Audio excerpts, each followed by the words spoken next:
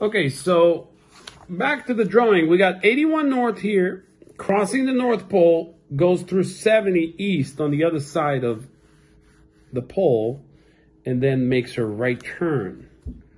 That airplane is going to be airplane A. Just like so. And airplane A will travel at 1,500 nautical miles. Will travel 1,500 nautical miles at 419. So we'll do 1,500, 419. Now we got to go to airplane number two. Airplane number two is going to depart at 0800 UTC from 79 North, which is right here.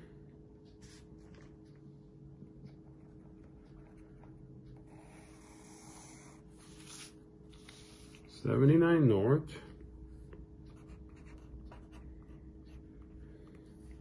And it's going to depart at 0800 UTC.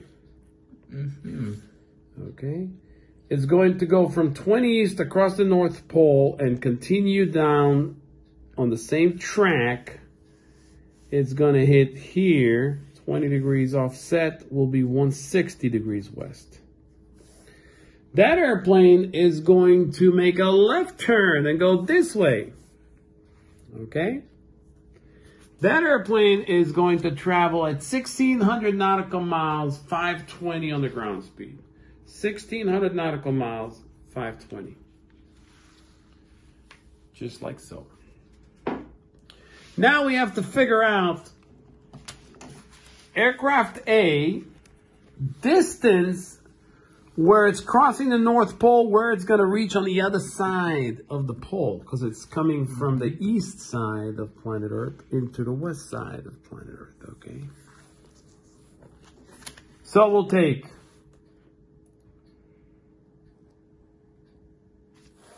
sixteen hundred. Matter of fact, we're going to start with the first airplane. It's going to be easier.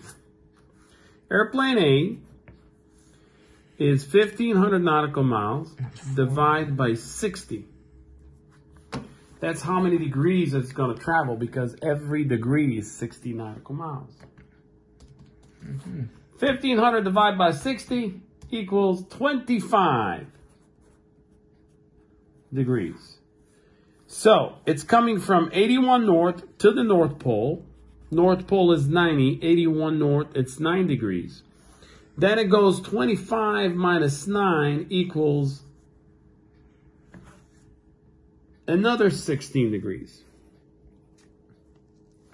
90 minus 16 degrees equals 74 degrees, 0 degrees right here. 74 degrees, 0 degrees. That's north. That's going to be your latitude for aircraft A on the other side of the pole. Mm-hmm. So far, so good. Now we have to figure out aircraft B. Aircraft B is here. It's going to travel from 79 north to the North Pole. So 90 minus 79 is going to be 11 degrees. And then it's going to continue further all the way total distance 1600 nautical miles. 1600 nautical miles divided by 60 equals 26 degrees 40. So 26 degrees 40 minus 11 equals 1540.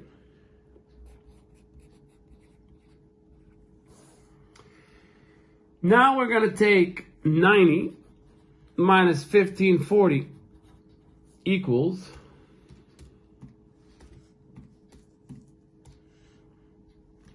Seventy-four twenty. So B. far, so good. Aircraft B is going to end up on seventy-four degrees twenty latitude. Okay. Mm-hmm.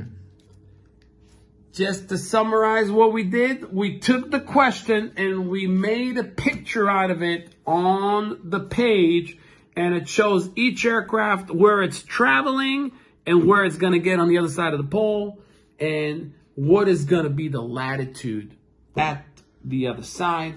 Plus, we have the distance and the speed and direction of each aircraft. Okay? Right.